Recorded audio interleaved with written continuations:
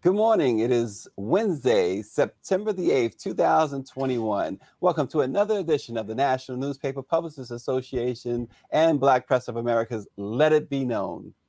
Children now represent 26.8% of the weekly COVID 19 cases. Climbing COVID 19 cases, and particularly the increasing proportion re- reported in children, are causing many health experts to worry about the outbreak as the school year gets underway across the entire country. Schools, particularly in the South, started their new year in August in many districts. Notably, those without mask measures in place saw an explosion of cases. And doctors and experts warn it could happen again when students in much of the rest of the country return to school this week, unless there is a strong action to keep the virus in check. This morning, we talk with Dr. James Hildreth, the president of Meharry Medical College and who, who's also on the board of the FDA. But first, of course, let us bring on our president and CEO, Dr. Benjamin F. Chavis Jr. Good morning, Dr. Chavis. Good morning, Stacey Brown, and we welcome all of our brothers and sisters and all of our viewers from across the nation uh, to let it be known. And on behalf of Karen Carter Richards, our chair of the NNPA, uh, 230 African American owned newspapers and media companies. Uh, we're very pleased uh, to be with you. And uh, those headlines about children, uh, you know, the majority of Black people still live in the South.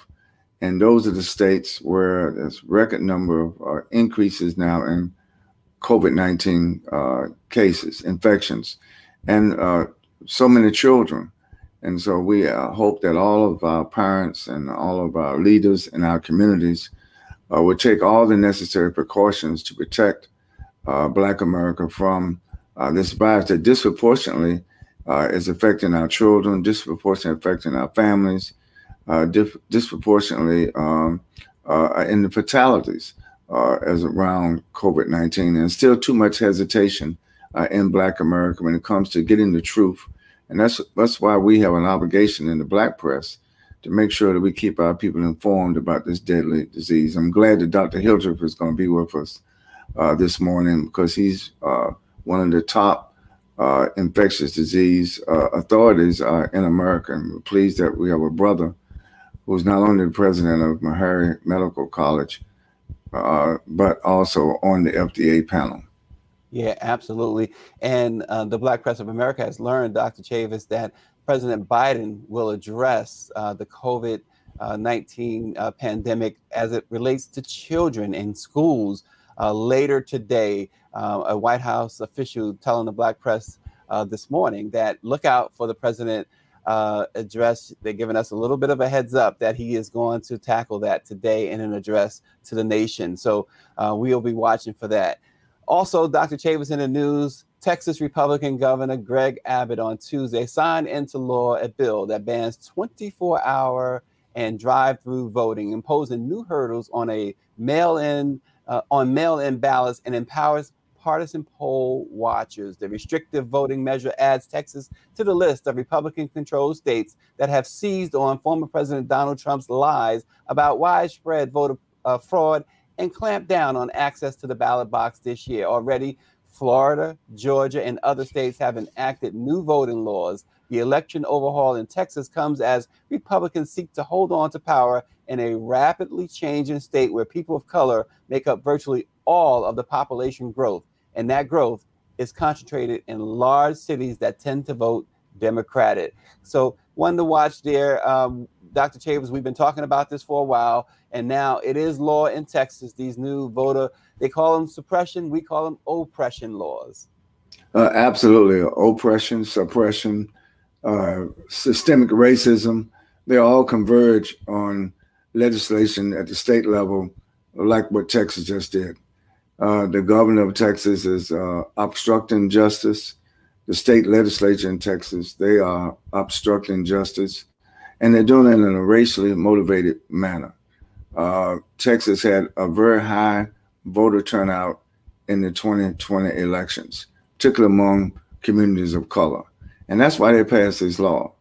So, uh, all these voter suppression laws, they're really uh, racism uh, in, uh, implementing laws. Yeah. Uh, to uh, they fear uh, uh, the black vote, they fear the Latino vote, they fear communities of color voting. So we have to uh, make sure that we don't let these laws stand. They've been, already been challenged, but while the laws have been challenged, we have to make sure that we redouble our efforts to get everyone who's eligible registered to vote and get everybody prepared to go vote in other words, uh, I've always said the way you handle voter suppression is uh, maximum voter turnout. In spite of the suppression, in spite of these tactics, we have to get out every single vote in our communities, across not just in Texas, but in all 50 states.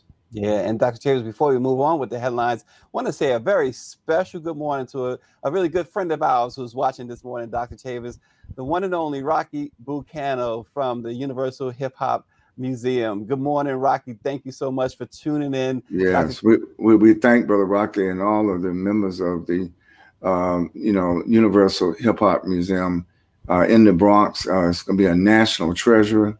Uh, we we really um, salute Rocky and the leadership there, and uh, want them to know that the Black press will support uh, the Universal Hip Hop Museum um, 100%. Yeah, and I, you know, Rocky, uh, you're listening. I was just with Carmen Ashhurst uh, last week, and we talked a little bit more about the museum. And she, like you and everyone else, is really, really excited.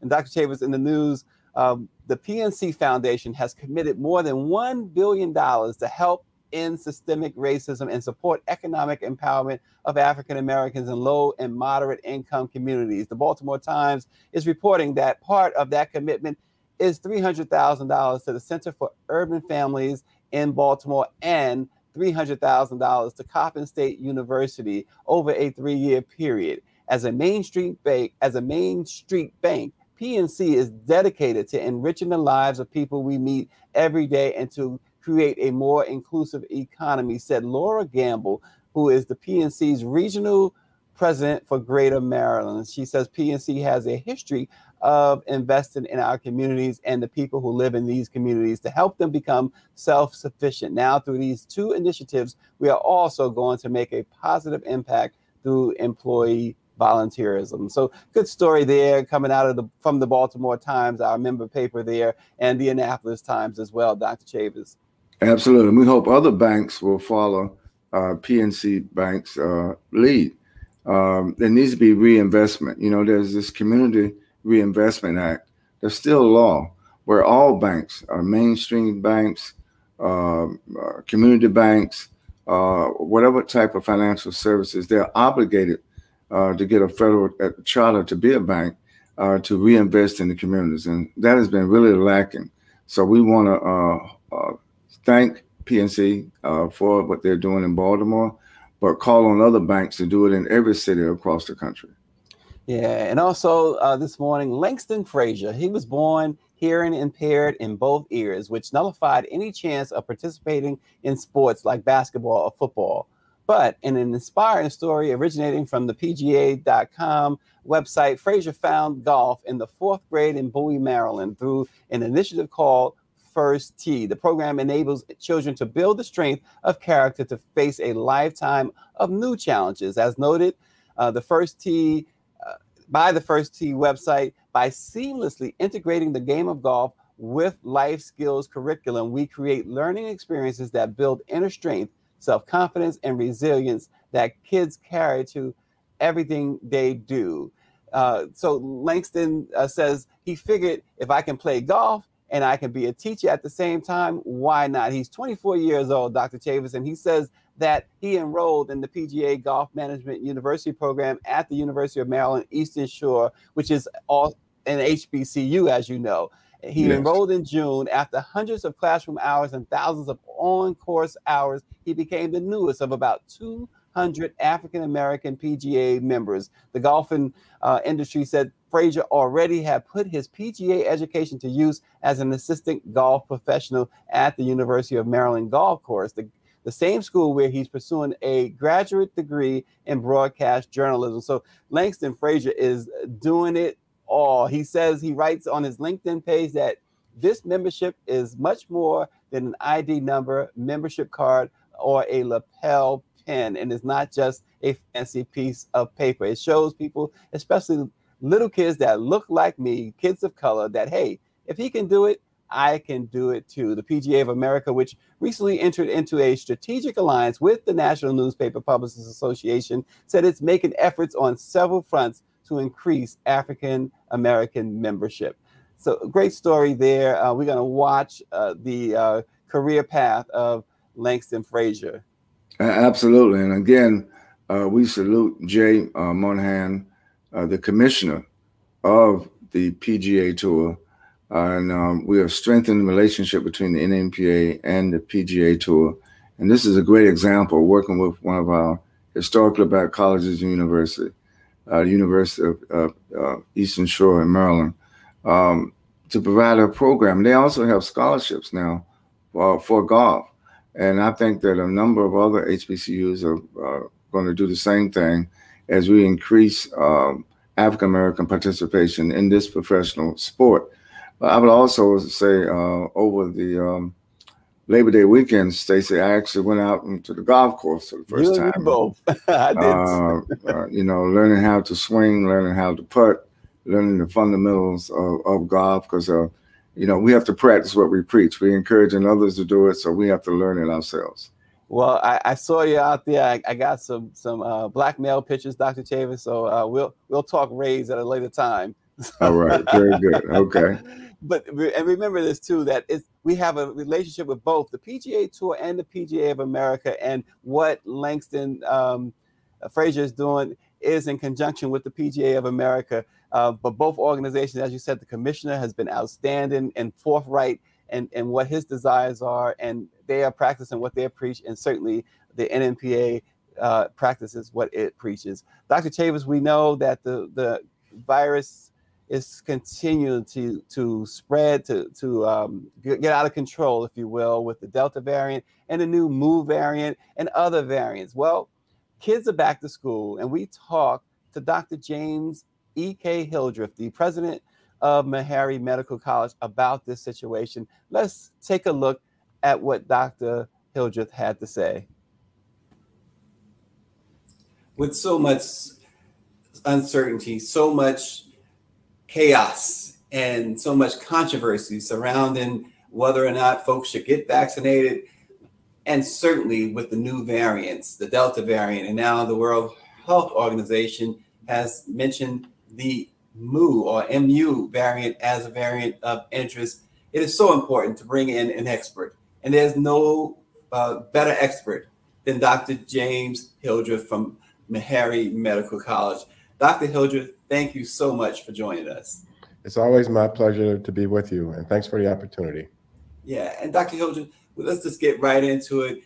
Let's first talk about the, the World Health Organization just talk just um, released the MU or MU variant uh, as a variant of interest. Can you tell us a little bit about that, and should we be concerned about it? We yes, we should certainly be concerned. Uh, there are three levels of variants that the WHO recognizes. There's variants of interest, variants of concern, and then there's variants of, of high consequence. And the variants of interest means that they have some changes that might affect the way the virus binds to our cells or the way that antibodies binds to the virus. But we're not as concerned about those because they don't appear to have a change in transmissibility or infectivity. The variants of concern, however, like Delta, do have higher transmissibility. And as you probably have seen, Delta seems to make people sicker quicker. So uh, any of the variants that rise to the level of interest we should pay attention to them because all of the variants of concern, they started out as variants of interest. So oh. clearly this one needs to, we need to keep our eye on it uh, as it moves forward. And Dr. Hildreth, hospitalizations are up, um, deaths are going up again, unfortunately. Okay, what's the message? We know the message is, is, is to is to is to be be safe, wear masks, to to get the vaccines if you can. Um, but many, we, we keep hearing, Dr. Hildreth, uh, many say that they don't, they still don't trust the vaccine or that they don't want to do it. They have a, the, the right not to do it. As one of the foremost experts on this, Dr. Hildreth, you are actually on the FDA board that approved the vaccine. Right. Can you talk about the importance of the vaccine and, and respond to people who say they just don't trust it? I mean, first, I acknowledge that ordinary people who are not into medicine or science might have legitimate questions about the vaccine. We have to accept that, and that's reasonable.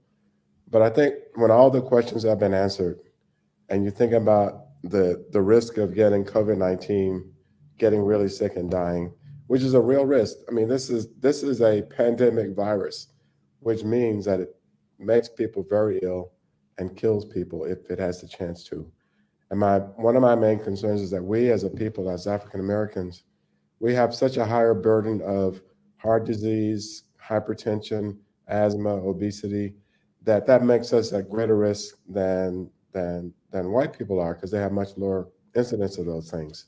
So we, as a people, need to be especially vigilant about this, uh, about COVID-19, given that we have this high burden of disease and death. So, but I've been studying viruses for 40 years, starting as a sophomore in college. I've done research on viruses for, I don't know, 30 plus years. And, uh, you know, I've also studied the immune system. That's where my specialty is, is knowing the immune system, how it works. And I can tell people that none of the steps required to evaluate the safety of the vaccines were omitted. They were developed quickly, that is true, and that could raise some concerns, but even that can be answered. And if, if I may, let me just say three things that give you should give you comfort as to why the vaccines could be produced in less than a year.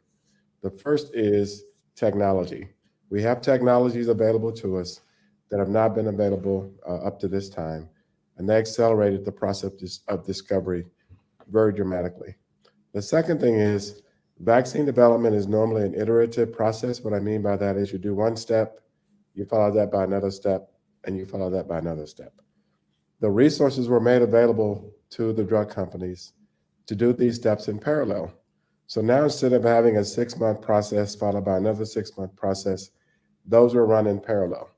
You have to make some assumptions about the uh, what the outcomes are going to be, but parallel processes compress the time frame. And the last thing is, which I know a lot about, is we've been trying to make an HIV vaccine for 37 years.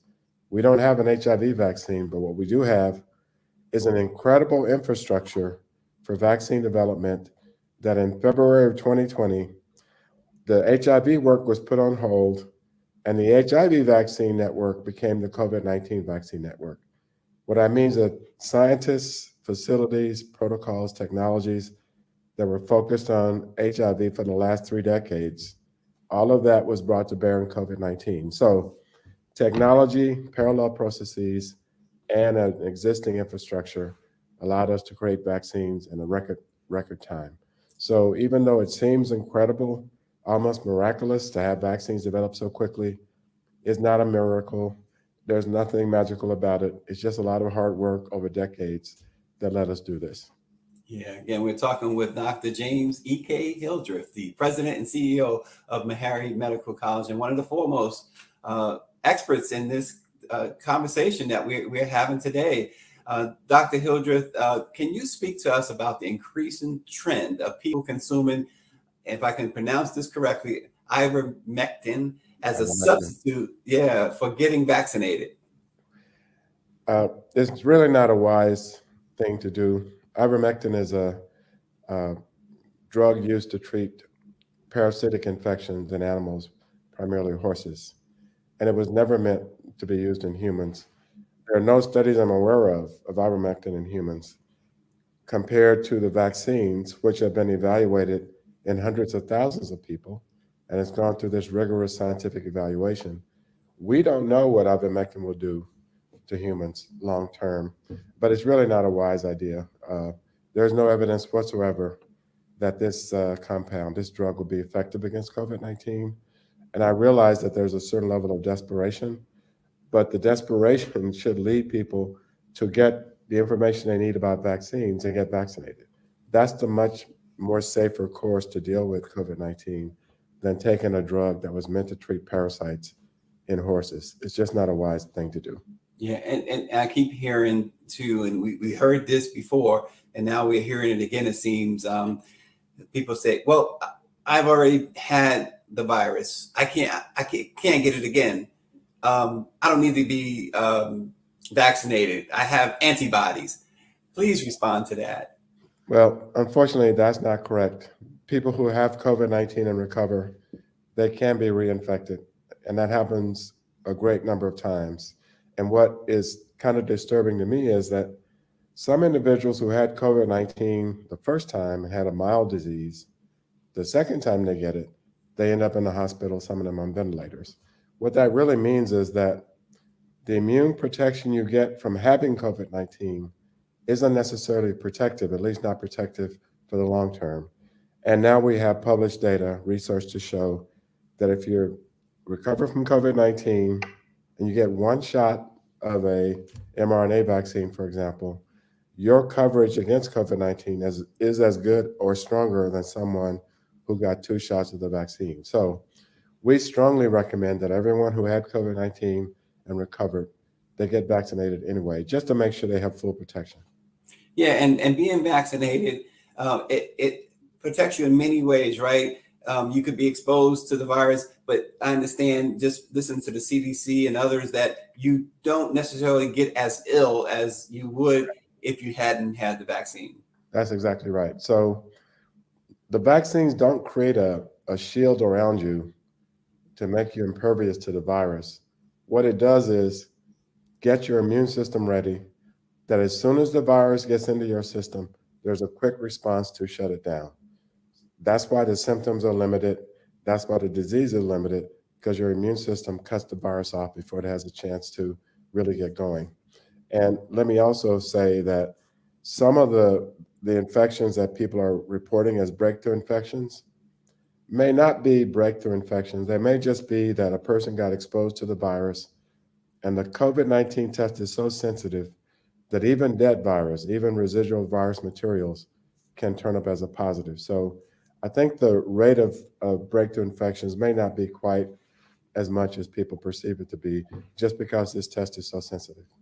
Well, that's it. That's some interesting and, and I say good news too um, to hear hear that. Dr. Dr. Hildreth, schools are now reopened in most places around the country. Uh, now, I'll preface this to say I'm a parent. Uh, I have a 14 year old who's vaccinated, but of mm-hmm. course, I have an 11 year old who's not yet vaccinated. Um, we've elected to homeschool until she can get vaccinated. But given the range of opinions, policies, and practices in place, is it a good idea for parents to send their children to school? Uh, I think the short answer is for most places, in my opinion, is not safe because uh, mask mandates are not in place.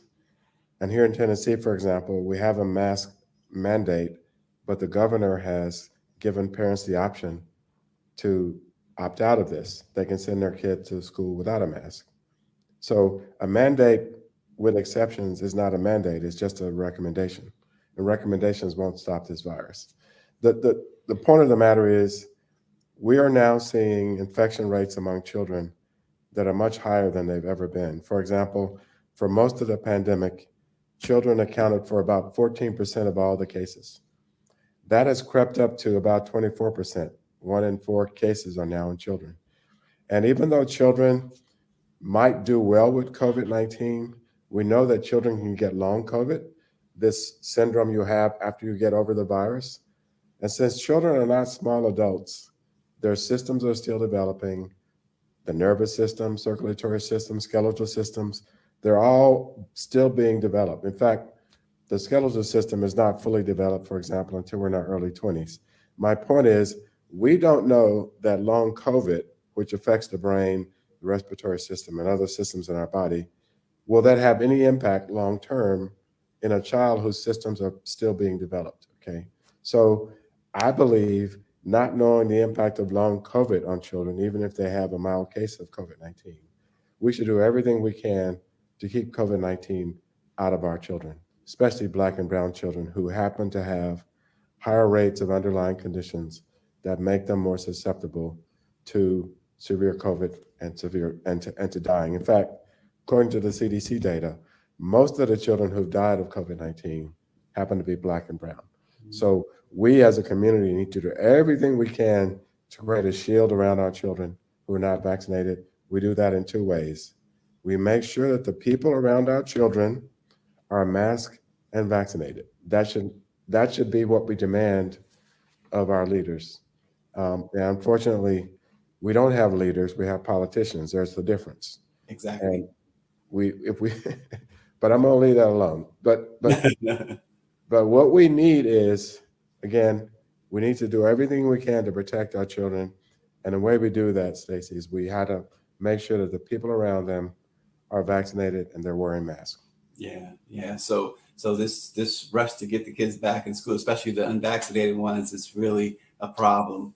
Well, and you know that school systems all over the country are now shutting down, if even, even if only temporarily because of the outbreaks that we're seeing. Yeah, it's really it's really uh, a challenging situation. Yeah, and, and before we let you go, Dr. Hildreth, again, we really appreciate your time. Can you explain uh, the rationale and effectiveness of booster shots for those that have already been vaccinated? So, Stacy, the the the rationale is that we have we've been collecting data on vaccine recipients and their antibody levels really since the phase one trials. There's been data collected, and what the data is showing is that over time the antibody levels that have been induced by the vaccine, they start to taper off somewhere after about seven or eight months. The, the levels seem to go down. So what this, what the FDA is going to do, and I'm on the panel that'll make this review on September the 17th. The same committee that reviewed the vaccines for approval is going to meet and review the data to make a recommendation about whether or not boosters are necessary. Let me just say that, and I don't want to frighten people, that even though the antibody levels are dropping, they're still high enough, at least in the laboratory, to neutralize the virus, which gives me comfort that there doesn't need to be a mad rush to get boosters, but we do want to be proactive and make sure the levels don't drop below the critical threshold needed to protect people. But that's what that's what the conversation will be on the 17th at the FDA. Well, Dr. James Hildreth, the president and CEO of Meharry Medical College, and one we certainly uh, hold up in the Black press as the foremost expert in all of all things to do with the, the COVID vaccine and COVID itself. We really appreciate you, your staff, uh, and and all those uh, Hope Buckner and those at Finn Partners as well. So thank you, Dr. Hildreth, for, for joining us uh, today. And thank you, Stacy, and again, thank you to the Black press for keeping our communities informed and protected is much needed and much appreciated. Now, all the best to you, Dr. Hildreth. Thank you. Dr. Chavis, um, let's try and unpack a little bit. There's, uh, yes. I think, a lot of news there um, from Dr. Hildreth. I, I start with uh, the fact that, again, vaccination. I mean, he he highlighted. I thought um, vaccination is so important uh, there's the anti-vaxxers, but look, you know, you talk about you want your freedom. Well, doesn't that mean living? And if you want to keep living, you should get vaccinated, right? Exactly. And um, one of the headlines of news that was just uh, uh, put out by Dr. James Hildreth uh, was that he went on the record to say that the children, the majority of the children that are dying right now across America from COVID 19 are uh, black and brown children. Yeah. Uh, I'm going to say that again. Black and brown children are dying more than any other children right now from COVID 19. And we thank Dr. James Hill for telling the Black press that truth. And we have a responsibility uh, in the Black press uh, to keep our people informed and to warn our people. You know, we were the first to declare a state of emergency in Black and Brown communities last year. And now we have to uh, uh, declare a state of emergency for our children because our children are dying, according to Dr. James Hildreth, more than any other children. Black and brown children are dying. That's the headline. And and also, you know, he kind of broke with what you we've heard from other experts on this, right? About schools. He's not a proponent of schools opening right now. You, you saw that in his comments. Uh, you, you see that in, in his body language and, and how frustrated he appeared that this virus. And Dr. Chavis, come on, anybody who sees these children that we've seen on on on um, ventilators, gasping for air, you know, trying to hold these little kids, it's a problem. And as he stated, you know, um, folks are being guided by by politics and politicians who are, as he says, his words, not leaders. They're politicians. That's right, and we cannot allow people to play uh, politics with the health and welfare, um, uh, you know, the public safety of, of, our children and our communities. Uh, we do need leaders. And this is not to indict all politicians. That's not the right. issue. The issue is uh, we have to believe in science. You know, we still have, uh, with all the devastating uh, thing that just happened from the hurricane in the South and in the Northeast, you still have people who are denying science. They, they deny climate change.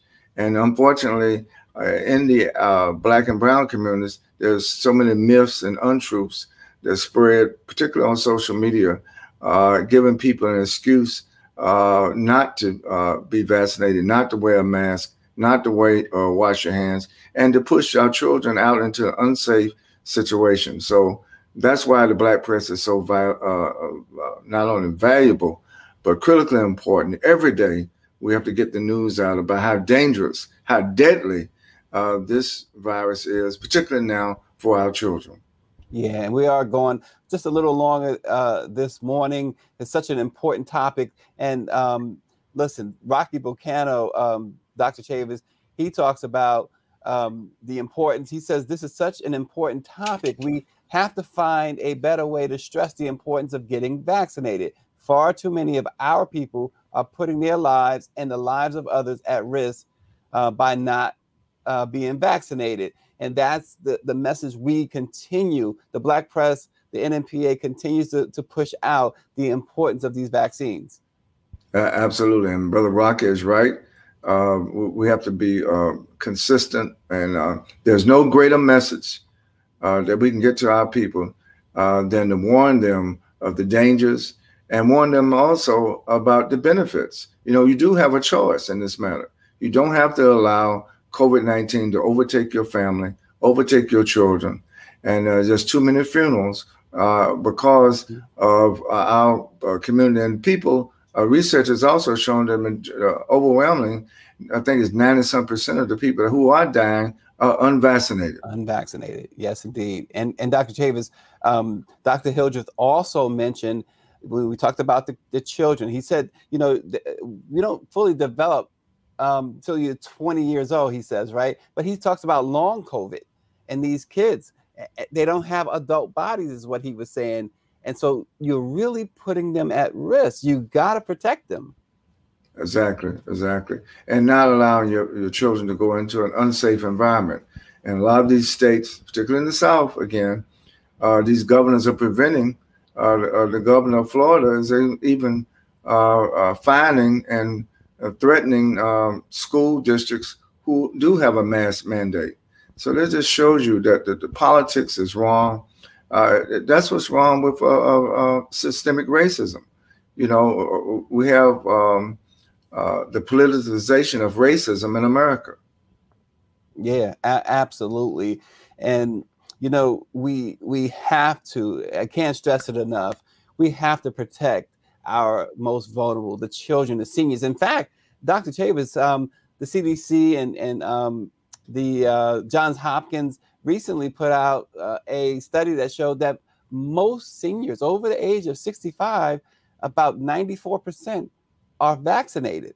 So, uh, so the seniors are taking the lead here Eh, the younger ones under 12 cannot get vaccinated, but those between the ages of 18 and 40, Dr. Chavis, the numbers are so low. Um, it's something in the neighborhood of 35% of a vaccine rate between those 18 and 40. So the younger ones, Dr. Chavis, are not getting vaccinated. Those who are eligible to get vaccinated, they are still not getting vaccinated.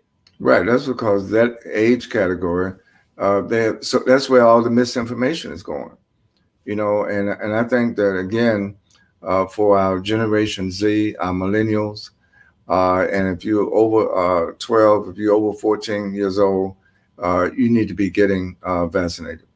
Yeah, and Dr. Ebony Hilton, who we will have on this program uh, next week, um, she talked about the the change in the percentages of the population suffering from COVID um, as more blacks get vaccinated and whites resist vaccination. So, so you, you see what's going on here. It, oh, absolutely. It's, it's racially motivated. That's why I'm trying to say that uh, systemic racism is in the healthcare system. Uh, systemic racism at these state legislatures. They're not only suppressing black voters and, uh, and brown voters, they're also suppressing black health and, and the health of brown communities. These things are related. Yeah. You know, uh, racism, uh, a racist is not going to say, well, you know, I- am going to uh, take advantage of these people just in one category of life. No. But the very yeah. definition of systemic racism is that it is in every category of life. Yeah, yeah, a- absolutely. And Dr. Chavis, finally, too, um, we could add this coming weekend, the start of the, the National Football League season. Stadiums will be filled again. Uh, we see, um, again, uh, thanks to Rocky sending in this information, the University of Georgia is not requiring masks or proof of vaccination for their football games. This is college football he's obviously talking about, but and he says it is the highest level of irresponsibility. Couldn't agree more. And it's going to be interesting to see what the NFL does about uh, mask and mask mandates. We know that Major League Baseball has not uh, instituted a, a mask uh, mandate. I'm not sure what the NBA is going to do uh, this coming season about masks, but it's going to be interesting because we just had a holiday weekend in which already the CDC has shown a spike in cases uh, from the holiday weekend. People partying, they're without masks, uh, they're gathering. It, it's really, really irresponsible, as Rocky says. Oh, absolutely. And again, we're going to continue to be on this case. Uh, and I know some people will say, well, wow, they just talk about this virus all the time. That's our responsibility. And we're going to continue. You know, we're not a, news organization uh, that chooses to uh, defer or chooses to uh, hesitate. You know, we, we uh, black black. I'm so proud of the black press. Uh, we're not uh, hesitant. For 194 years, the black press is not hesitating in pleading our own cause and putting our own information out there about the truth. And we're going to continue to do that, no matter uh, how many people uh, sometimes may take exception to what the black press does. This is our responsibility. That's why we exist, and we will continue to perform our mission accordingly. Yeah, and as as our news director and producer Norman Rich says, if we can save one life by providing our viewers with access to information and experts, it's all worth it. And we couldn't agree more. We certainly couldn't agree more. And don't forget to check out the NNPA and the Black Press of America on TikTok at NNPA Black Press and make plans now to join us for the NNPA's National Leadership Awards reception September 16th. And you see the flyer there. Um, those are being honored uh, Senator Cori Bush, Congresswoman, uh, Senator Cori Bush, Congresswoman Cori Bush, Senator Cory Booker, uh, Reverend Senator Warnock, Raphael Warnock, Dr. James Hildreth, who you just heard from this morning, Dr. Ebony Hilton, and Olympic champion, record setter, Allyson Felix. Dr. Chavis, I know you are looking forward to that. Oh, absolutely. It's going to be virtual, so everybody can attend and uh, participate and get the vital information that will be shared at the virtual NNPA 2021 National Leadership Awards reception, September the 16th. Yeah, and you can register, as Dr. Chavis said, it's free at virtualnnpa2021.com,